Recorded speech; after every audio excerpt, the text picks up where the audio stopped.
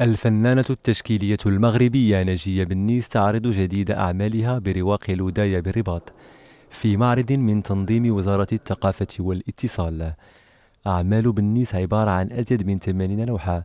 هي ثمرة أبحاثها الفنية وتجاربها البصرية الممتدة والمعبرة عن تيمات ورؤى فنية مختلفة.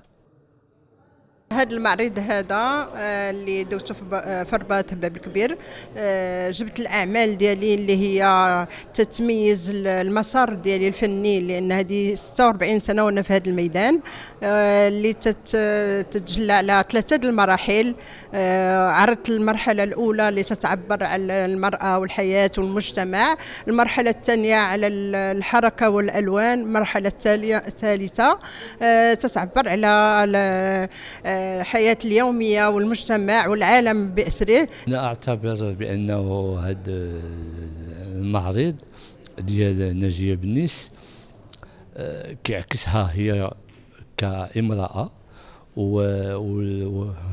وتتميز هي بهذه الأعمال ديالها هو أنه لا تشخص يعني الأشخاص أو الأمكنة أو أي شيء من هذا القبيل بقدر ما كتقوم بإحالة للكل. وبالتالي ما كاينش التشخيص. والتشخيص ديالها فيه كيبان أنه في التركيز التركيز من خلال الإطار. والاطار مزدوج بمعناه كيف كيتقال في اللغة السينمائية غران بلان المعرض دعوة إلى التأمل في الحركة بكل تجلياتها وعمق الأضواء.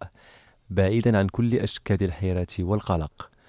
فكل لوحة بالنسبة لنجية بنيس تتميز بشهادة ميلاد فنية. ففلسفتها في الحياة أن اللوحة كيان له وجوده الفني والعملي معا.